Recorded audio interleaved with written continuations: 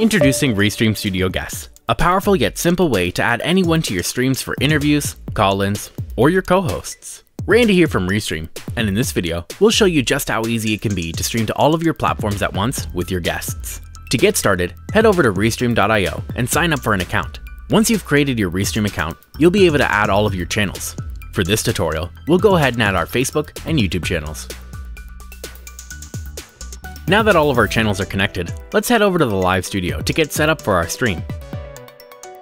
Here, you can add captions, graphics, and chat as soon as you go live. You can also access your invite link for guest by clicking this icon from the bottom of your webcam. Now, you can copy this link and send it to your guest.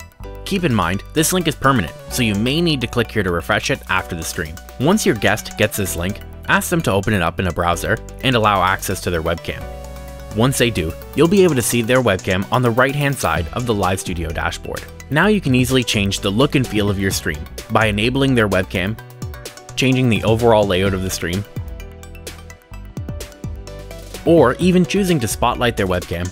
Once you're happy with the layout, you can go ahead and click live from the top and will instantly start connecting to your channels. While you're live, you'll have access to all the same controls you did before we went live. And that's it.